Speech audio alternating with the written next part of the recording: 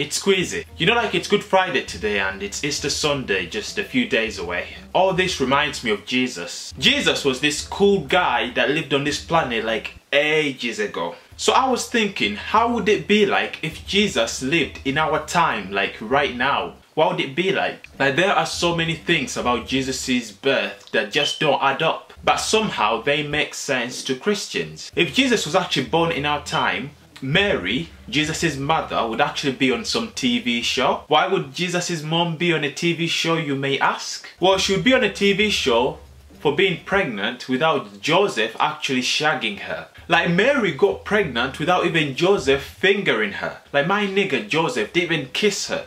But somehow she got pregnant. And when they asked Mary how she got pregnant, she went, it's the Holy Spirit. Like how? Imagine your girl getting pregnant and telling you that shit. You probably would be like, since when does the Holy Spirit have a dick or sperm? So if this happened in our time, Mary would be on some TV show and Joseph doing some lie detector stuff to find out really how did Mary get pregnant. We don't think that Mary is a slag because who gets pregnant without a dick in our time? Like Joseph must have really loved Mary. Like imagine you're waiting on someone you love. Then you get married and then you haven't even slept with them and then they show up pregnant. Then if that's not enough they start telling you how the Holy Spirit got them pregnant. Like I would sidekick a slag if she came to me telling me stuff like that. But Joseph, he, he just believed it.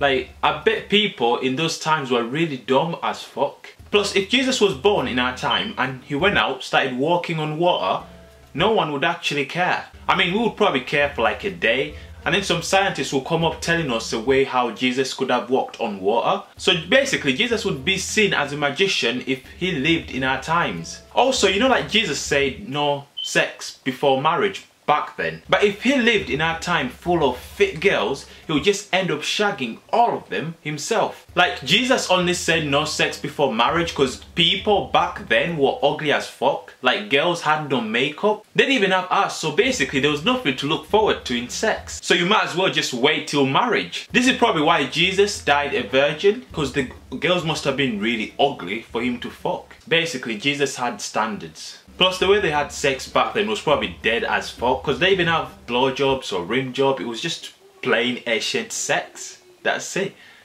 Like you just show up with someone, you put a dick in them and that's it. Imagine, that's all they did. Also, it was easy for Jesus to say the things that he said back then because back then there were less temptations, man. Like back then they didn't have smartphones, so no porn. So it was hard to find someone that was actually a pedo back then. And they were not annoying as fuck people back then. It's probably why Jesus said do not commit murder. But now in our times, people are just annoying. You want to kill your ex, your friends, your siblings. Like everyone's just annoying as shit. Also, if Jesus lived in our times, he wouldn't be going around telling people that thou shall not commit adultery because people just laugh at him because in our time committing adultery is a hobby it's actually cool in our time to commit adultery like when my boys cheat on their girls, we praise them. Like people enjoy cheating in our time. Like I love that feeling you get when you cheat on someone and the sex was great. And you feel like you want to tell the person that you cheated on that you cheated on them and the sex was great.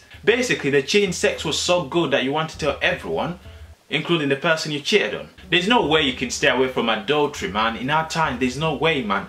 Adultery is in everything. Our music, films we watch, porn, like cheating is everywhere. Like you just have to cheat.